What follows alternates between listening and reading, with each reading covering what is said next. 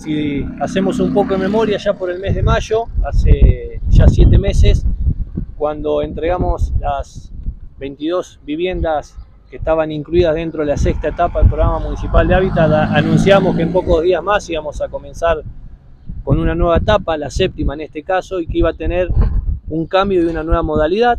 Anunciamos oportunamente la construcción de 23 nuevas viviendas, de las cuales 13 van a estar ubicadas y están ubicadas ya con un avance bastante importante a la altura del techo, que bueno, la idea es cuando se normalice un poco la situación económica por la que estamos atravesando y podamos conseguir los materiales, la idea es poder continuar hasta, hasta la finalización. Como les decía, estas 13 viviendas están ubicadas sobre terrenos propiedad del municipio, sobre calle Gaminara y Saavedra, y habíamos anunciado que íbamos a realizar la construcción de 10 viviendas en la nueva operativa, que era de lote propio, y bueno, oportunamente lanzamos la, inscripción, como se hacía habitualmente con el resto de las viviendas, para que aquellos sancarlinos que tuvieran su lote propio y quisieran participar de, este, esta modalidad, lo pudieran hacer. Hemos recibido eh, a quienes a la postre resultaron los que conformaron y cumplieron con todos los requisitos y hoy estamos aquí mostrando nuevamente con hechos que se comenzó con esta operativa, es la primera eh, vivienda que se va a construir, que resultó del eh, sorteo justamente que hemos realizado oportunamente, estableciendo el orden del 1 al 10 y bueno, en este caso estamos hoy aquí en, en nuestra ciudad, en la esquina de Primero de Mayo y Moreno, en el lote propiedad de Fernando Petroseri, que está aquí a mi lado, que es el primero de los adjudicatarios de, esta nueva operatoria, que para nosotros es importante, es muy satisfactorio poder también cumplir eh, y con, de esta manera y poder eh, tratar de ir logrando de a poco el déficit habitacional que tenemos y también dando una, una ayuda importante porque hoy construir eh, una vivienda es muy costosa, sobre todo en la situación en la que estamos. Y bueno, creíamos que esto era una manera más de colaborar y yo creo que para quienes eh, van a resultar eh, beneficiarios, de la construcción de esta vivienda, que son de la misma modalidad. Después Gaby seguramente podrá ir más a la cuestión técnica. Eh, son similares a la que estamos construyendo y da la posibilidad, a, en este caso a Fernando, de poder tener su vivienda en su propio terreno con la construcción a través de, esta, de este programa que es el programa municipal de hábitat. Bien. Eh, Gabriela, esta vivienda, como decía el intendente, tiene las mismas características que el último plan que se hicieron o como bien se comentó en alguna vez, a medida de que bueno, se van haciendo viviendas, se va aprendiendo un poco y se le van modificando algunas cosas. Sí, buen día. Buen día. Eh, sí, eh, la tipología es la misma, eh, van a tener las mismas eh, cosas que las otras viviendas. Lo único que acá se tiene en cuenta por ahí es la ubicación eh, de acuerdo a cada lote. Eh, y se van adaptando, pero en, en términos generales son iguales. Tiene la misma cantidad de cosas y pisos, cielos rasos, aberturas, todas similares. Bien, se hace con el mismo Se hace presupuesto, con el digamos. mismo, claro. exacto, con el mismo prototipo, eh, obviamente adaptado al- al- a este terreno, pero básicamente es igual. Bueno, vamos a dialogar entonces un poco con el eh, propietario. Imagino que una buena posibilidad porque a veces sucede que se llega al lote y después, eh, como bien decía el intendente, el tema de la construcción se hace cuesta arriba y esta es una buena posibilidad que ahora también tienen los sancarlinos, La ¿no? verdad que sí, eh, bueno, todavía me cuesta caer, ¿no? Yo voy a tener mi, mi propia casa y bueno, tal cual como decía, hace mucho tiempo que tengo lote, ¿no es cierto? Y, y bueno, se me presentó esta oportunidad justo al principio de este año estaba, estaba, estaba evaluando posibilidad de construir, Ujú. de empezar a hacer algo en, en mi lote y bueno, la situación se va complicando cada vez más, así que la, esta inscripción que abrió la municipalidad se dio una, una oportunidad única, que digamos, para mí y también para los demás vecinos que- que se notaron. Bien. Intendente, ¿está cerrado ya lo que es la inscripción para esta modalidad? ¿Se espera a una nueva etapa de, de vivienda? ¿O aquellas personas que por ahí tienen un lote y dicen, bueno, van viendo cómo se construye esta, ya pueden consultar en el municipio? No, lo que está claro es que nosotros la abrimos oportunamente para poder eh, tener también un parámetro de la cantidad de viviendas que, que teníamos eh, con posibilidad de construir. Eh, se llegó a la cantidad que estaba establecida y hoy ese, esa inscripción está abierta y se irá evaluando sobre la marcha que cumplan con los requisitos que obviamente también tuvieron que cumplir eh, quienes hoy son eh, adjudicatarios para, para, poder formar parte de este, de este programa. La idea es que esto se pueda continuar, que se pueda mantener.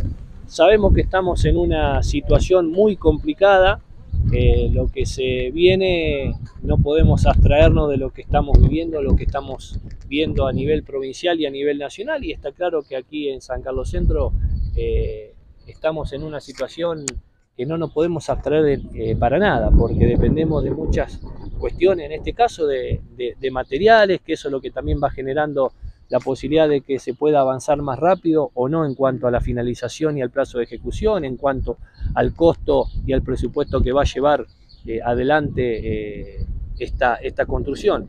Y si me permiten, hoy tal vez hablar de un valor de cuánto insumiría una inversión para llevar adelante una casa sería hasta una falta de respeto por todo lo que estamos atravesando, porque no hay una cuestión que sea muy muy firme que diga, bueno, hoy es esto y, vale esto y nosotros podemos trabajar con ese valor. Acá hay precios que se modifican diariamente. Eh, Gaby, que está permanentemente con el tema de presupuesto y de materiales, eh, es algo que, asombra. La lista de precios prácticamente por día o, a cada 3-4 días, con suerte de una semana para otra. Entonces hoy se nos hace muy difícil por ahí eh, hablar de un número fijo. Y yo quisiera eh, que me permitan, por eso me lo quise traer anotado, para no, no errar en cuanto al dato, que es un dato preciso, que eso mata cualquier otro tipo de relato. Eh, y acá estamos hablando de cuestiones certeras para que ustedes puedan ver el costo, que puedan ver sobre todo y valorar, eso es lo más importante, el esfuerzo que está haciendo el municipio para poder sostener y que se pueda continuar con este programa municipal de hábitat, no solamente en la modalidad, tradicional, sino en esta nueva que estamos comenzando o que de una manera formal y un puntapié estamos haciendo hoy.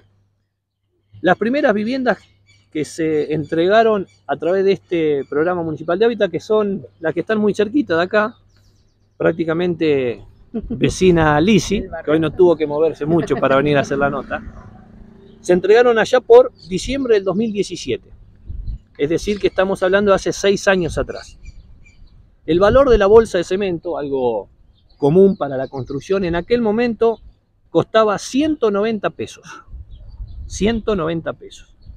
Hoy, esa misma bolsa, promediando los precios, porque hay precios totalmente dispares, tiene un costo de 6.800 pesos. Es decir, que se multiplicó exactamente por 36 veces en 6 años. Las cuotas de las viviendas que entregamos dentro del programa municipal de hábitat se ajustan de acuerdo al índice del salario mínimo vital y móvil. En diciembre del 2017, es decir, hace seis años, el salario mínimo vital y móvil era de 8.860 pesos. Hoy es de 156.000 pesos. Es decir, que se multiplicó 18 veces. ¿Qué quiero yo decir con esto? Que si el costo de la cuota el valor de la cuota se manejaría de acuerdo al incremento del índice de la construcción, hoy exactamente quienes están viviendo en casas, en viviendas justamente dentro del programa municipal de hábitat estarían pagando el valor de la cuota exactamente el doble de lo que tendría que valer. Y eso es lo que yo quiero demostrar y el valor y el gran sacrificio que está haciendo el municipio para poder sostener este programa. Porque también se le puede sumar a todo esto que yo le estoy diciendo, que el salario mínimo vital y móvil en los últimos cinco meses ha sufrido un incremento en su porcentaje altísimo, lo cual iba a ser muy duro el golpe de saltar de un mes a otro con el valor de la cuota. Entonces lo que estamos haciendo es prorrateándolo mes a mes durante los últimos cinco meses para que el incremento del valor de la cuota que tenga que percibir cada uno de los beneficiarios de este programa no sea tan costoso, que no sea tan duro y que se pueda abonar. Hoy, para que tengamos en cuenta, eh, el valor de una cuota de una vivienda de un dormitorio está aproximadamente los 45 mil pesos.